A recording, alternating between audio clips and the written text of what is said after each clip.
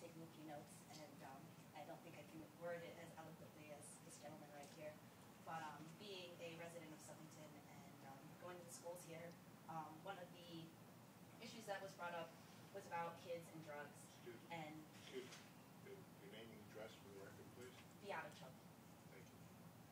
Um, uh, going to the schools here, um, you know, alcohol, cigarettes, um, you know, uh, compared to marijuana, I mean, I find that it was always much more accessible to get marijuana than it was alcohol when people were kids.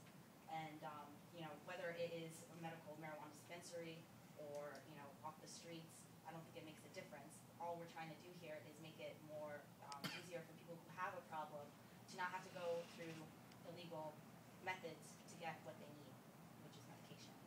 Um, so, uh, and then, like he was saying, the psychologically addictive, you know, addictive personalities, it doesn't matter if it's marijuana or not, you know, it, it's a psychological issue, not a physical thing.